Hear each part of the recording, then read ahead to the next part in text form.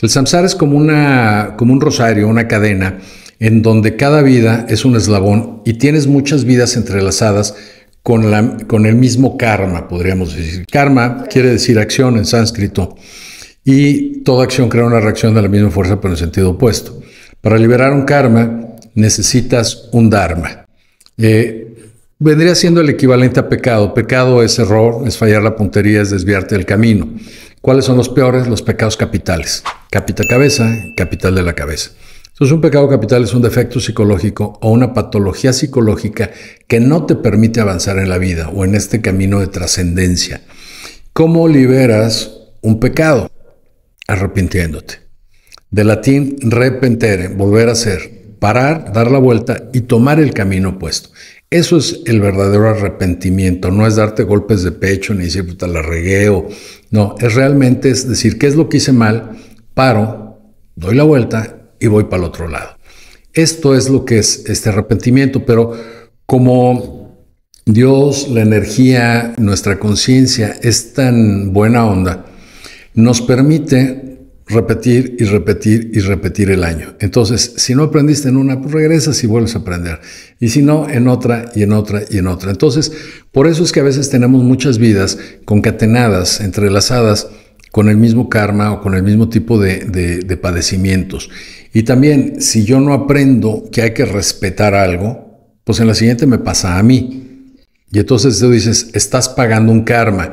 Sin embargo, este es un término muy utilizado y muy mal utilizado. Yo no tengo que pagar nada. Yo no vengo a pagar, vengo a aprender. Sí, es lo que yo pienso. O sea, esto es como un examen de a ver si ya entendiste. Claro, entonces si no lo aprendo, dicen, bueno, ok, a ver, si ya andas con una vela y andas quemando a tus compañeritos, dices, mira, para que veas lo que sienten, agarran la vela, te ponen la mano encima y dices, quema, pues sí, sí quema, ya no andes quemando a los demás. ¿Por qué? Porque ya sabes que también quema. Entonces, es un poquito este, este tema del karma. Tú dices, oye, entonces el karma lo tengo que pagar, lo que yo hice lo tengo que, que sufrir. No, esto es un tema, este es un tema de aprendizaje.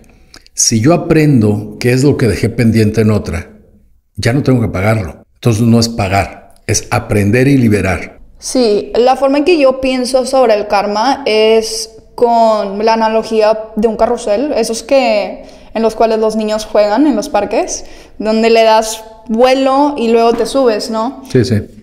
Y la forma que yo pienso es, pues, no sé, digamos que estás haciendo una acción que no es muy, pues, favorecedora, ¿no? Para ti. Por ejemplo, criticar a alguien. Este, lo haces una vez y pues el carrusel no va a tener mucho, mucho vuelo, ¿no? Pero si lo haces constantemente y sigues criticando a esa persona o sigues empezando a criticar a otras personas y le sigues, pues cada vez va a tener más vuelo ese karma. Eh, y cada vez va a ser más difícil soltar como el hábito acá mentalmente, ¿no? Entonces digamos que ya te decides que ya no lo voy a hacer.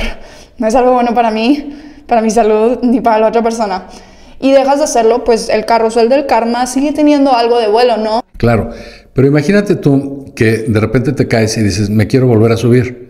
Y entras directo, bueno, te va a pegar y te va a botar otra vez y te va a botar cuantas veces quieras entrar así. Pero si tú ya aprendiste y empiezas a correr alrededor para ir tomando la velocidad de la rueda y luego brincar y subirte, es un poquito esto. Cuando tú empiezas a tomar el vuelo de lo que estás haciendo, a conocer, ya no te pega, ya no te saca. Y a lo mejor dices, bueno, perfecto, esta fuerza inercial que traigo, ¿cómo la puedo frenar? Si yo me salgo nada más, pues me va a revolcar. Pero si antes de salir me empiezo a tomar también el vuelo y corro hacia la dirección de la inercia, ya no tengo el problema. Entonces, es un poquito esto con, las, con, las, eh, con el tema de vidas pasadas. Si yo puedo entender qué es lo que hice mal en otra vida y arrepentirme, o sea, tomar el camino opuesto, que como diría Jesús, hay dos formas de pagar el karma o el pecado. Una es con sufrimiento y la otra es con servicio. Desafortunadamente casi todo el mundo escogemos con sufrimiento y entonces venimos una y otra y otra vez y sufrimos una cantidad de cosas terribles porque no entendemos que también lo puedo hacer con servicio, que también lo puedo hacer cambiando, cambiando qué es lo que hice en otras para poder corregirlo en esta. Entonces ahí el karma lo conviertes en dharma o el pecado lo conviertes en arrepentimiento. Entonces las, eh, esta idea de las vidas pasadas o de vidas futuras, que no es sino tu alma viviendo todas las experiencias en un momento eterno.